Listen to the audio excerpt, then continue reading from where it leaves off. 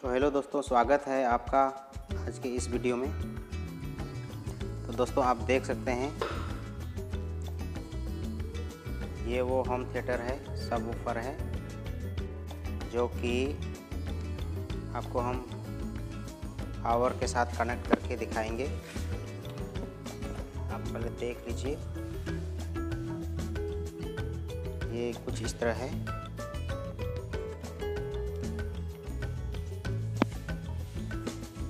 यहाँ पर से इसका पेन ड्राइव, मेमोरी कार्ड और ट्रैक कंट्रोल करने के लिए कुछ दिया गया है बटन। इधर से पैनल वाला आपको टोटल फ़ंक्शन के बारे में बताया होगा। आगे में भी पैनल बटन है stand by tune tune plus volume plus tune minus input है वॉल्यूम माइनस है। और इस साइड में, साइड वूफ स्पीकर दिया गया है, सब ऊपर स्पीकर। तो चलिए हम इस पर पावर सप्लाई देके देखते हैं। तो इसका पावर कोड को हम पावर के साथ कनेक्ट कर दे रहे हैं। और हमने कनेक्ट कर दिया, अब इसे ऑन करते हैं। तो आपने एक साउंड सुना होगा। फिर से हम इसे ऑन ऑफ़ करते हैं। आया। बट यहाँ पर एक छोटा सा इंडिकेट कर रहा है ग्रीन कलर का इसको मैं स्टैंड बाय ऑन कर देता हूँ।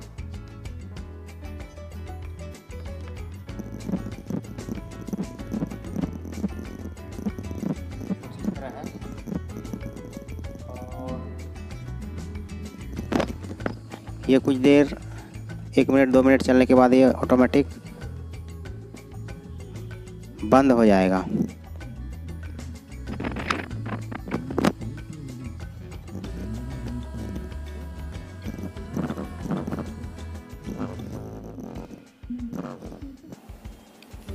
तो कुछ देर चलने के बाद आप देख सकते हैं ये इंडिकेटर ब्लिंकिंग शुरू कर दिया है। और जैसे ही हम ऑन करते हैं तो ये ऑन नहीं हो रहा है। और ये इंडिकेटर ब्लिंकिंग कर रहा है। जब ये स्थिर हो जाएगा तो ऑन हो जाएगा। फिर चलते चलते कुछ देर में, जैसे कि ये आप देख सकते हैं अभी, फिर मैं ऑन करूँगा। अभी ऑन नहीं लेगा। यानी पूरी तरह से ठंडी हो जाने के बाद, एक घंटे के बाद फिर से ये ऑन हो जाएगा। फिर से दो मिनट चलने के बाद ये ऑफ़ हो जाएगा। तो ये प्रॉब्लम है इसका। तो चलिए हम इसे खोलते हैं अंदर। और देखते हैं आखिर फॉल्ट कहाँ से है। तो बने रहिए। तो चलिए हम इसे खोलते हैं।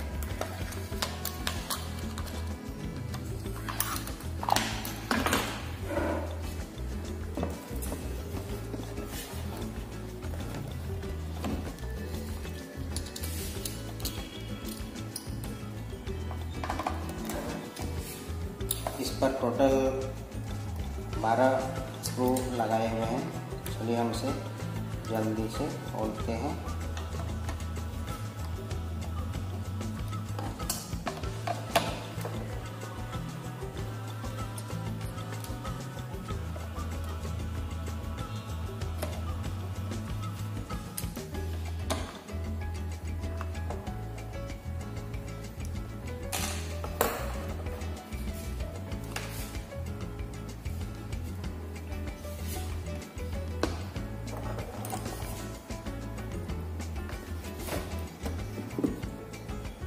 देख सकते हैं।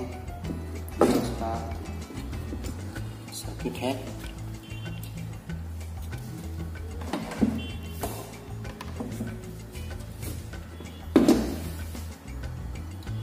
तो दोस्तों, चलिए हम इस पर फिर से एक बार पावर देके टेस्ट करते हैं।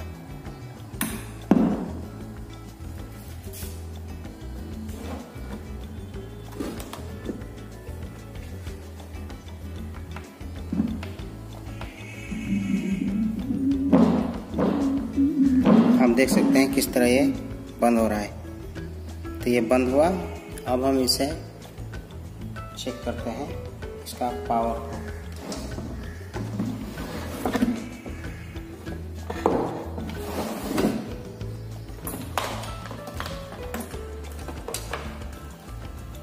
तो ये रहा मेरा मल्टीमीटर और चलिए हम इसे चेक करते हैं।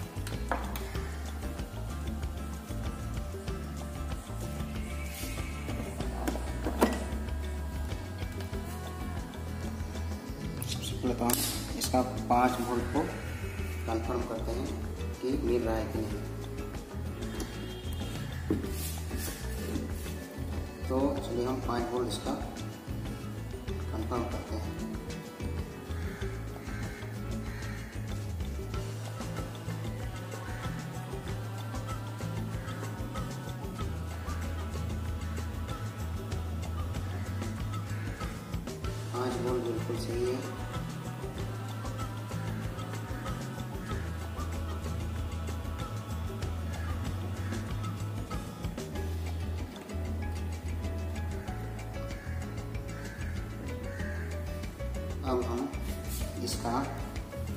आईसी पर देखेंगे। बारीकी से। कहीं पर। ड्राई सोल्ट तो नहीं हुआ है। तो ये पाँच वोल्ट सही है। और ये पाँच वोल्ट आता है।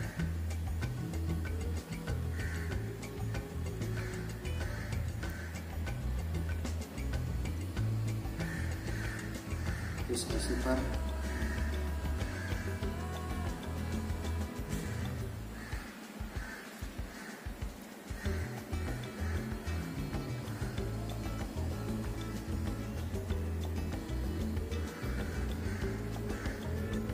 चलिए हम इस पर ड्राई सोल्ड मार देते हैं।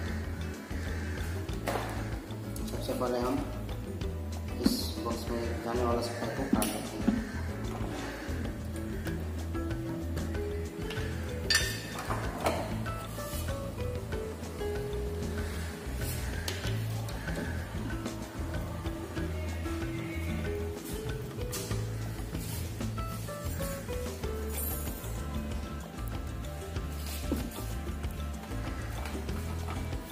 तो दोस्तों, पहले तो हम इस पर ड्राई मार्क करके देखते हैं। मेन फ़ंक्शन है इसी में।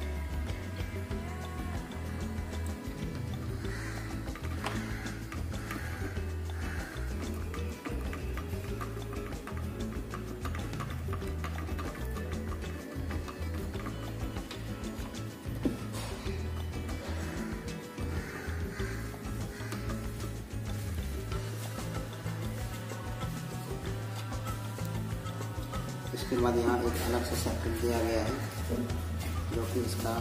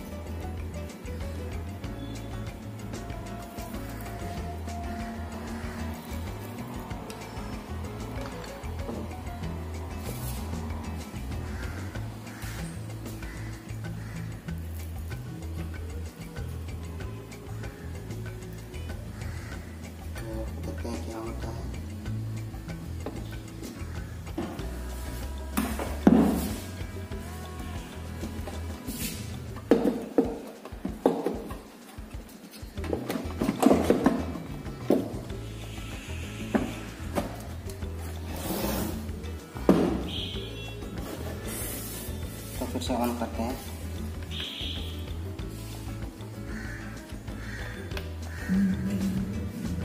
तो मैंने ऑन कर दिया है और ये प्ले हो रहा है। फिर से उसी तरह ब्लिंकिंग करते हुए ये ऑफ़ हो गया।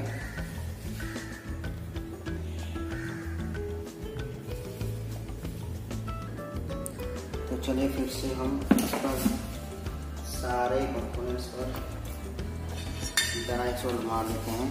इतना कि ये इसका कंट्रोल सर्किट में दिया गया है।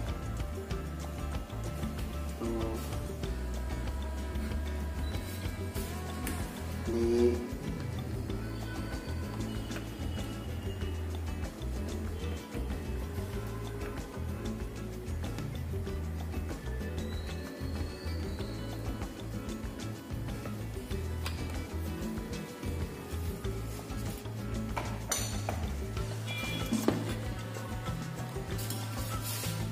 चलिए हम फिर से ऑन करके देखते हैं।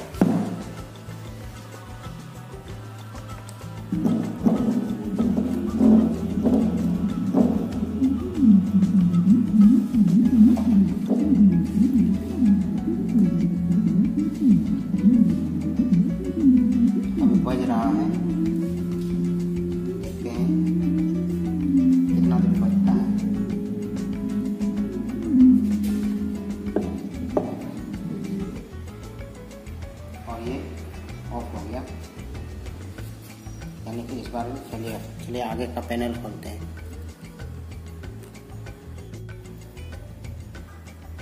तो चलिए हम आगे का पैनल खोल करके देखते हैं।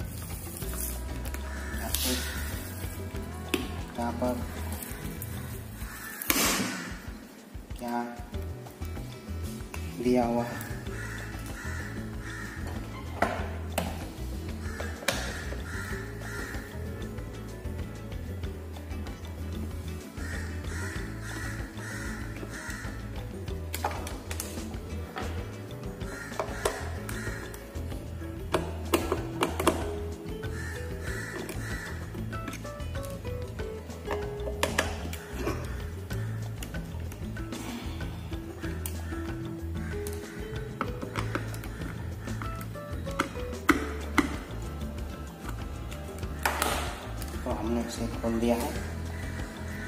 अब हम आगे देखते हैं।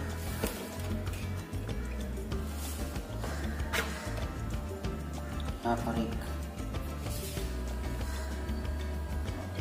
सर्किट दिया हुआ है। कंट्रोल सर्किट और हम यहाँ देखते हैं फॉल्ट किस जगह से है।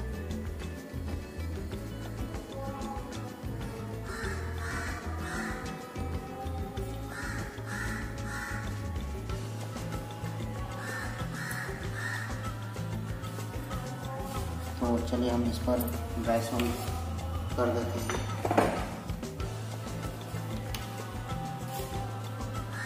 इस पर हम इस कंट्रोल आईसी पर सॉल्व कर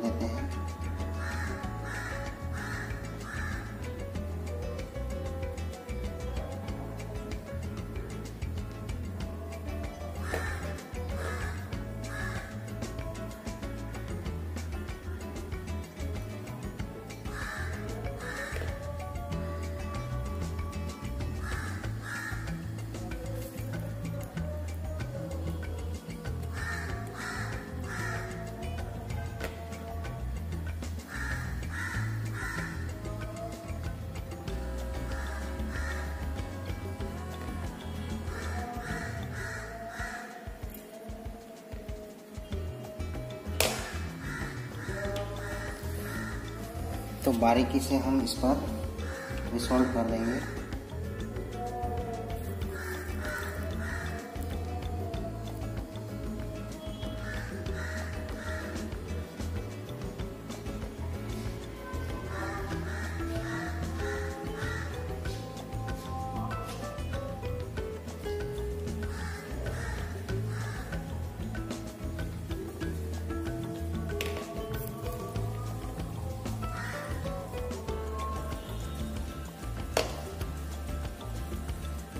जितने भी सप्लाई वायर कनेक्टेड है, सबको हम इस तरह से रिसोल्व कर देंगे, ताकि कहीं पर करंट लीक ना हो।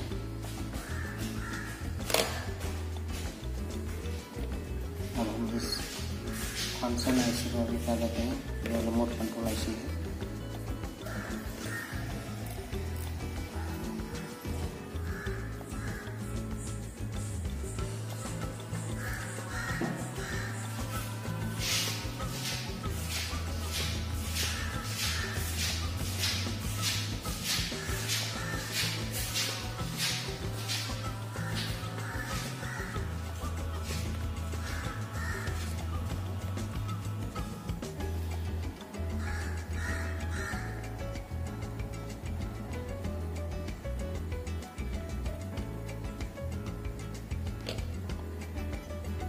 हम दूसरे साइड भी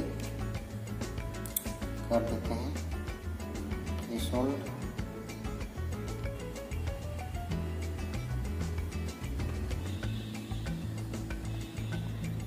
इस पर जितने भी सप्लाई हैं, सबको हम रिसोल्व कर देते हैं।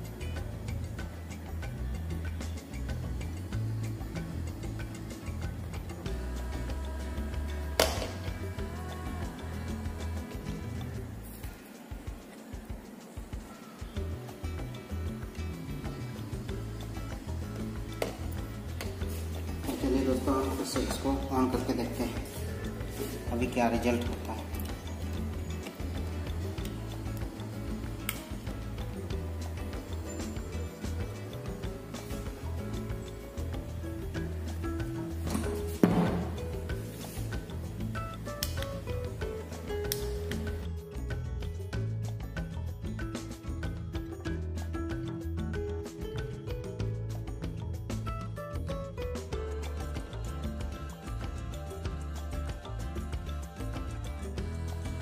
आप देख सकते हैं ये अभी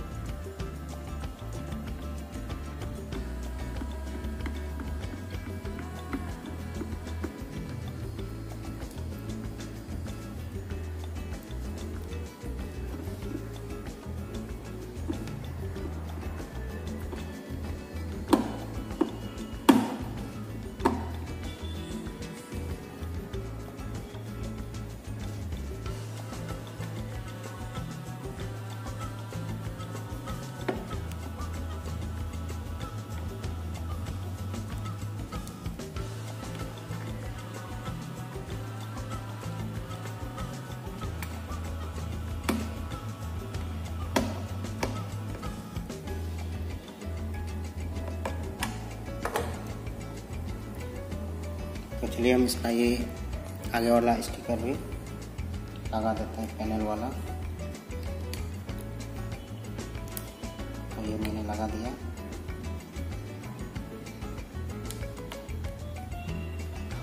तो दोस्तों, आप देख सकते हैं कि अब तक ये सही है, नहीं तो पहले एक मिनट के अंदर में ये डिस्प्ले गायब हो जाता था, जो कि ऑटोमेटिक स्टैंड बाई से भी बाहर चला जाता था, जो कि पावर ख़त्म हो जाता था इस पैनल पर। तो चलिए आज का वीडियो यहीं समाप्त करते हैं।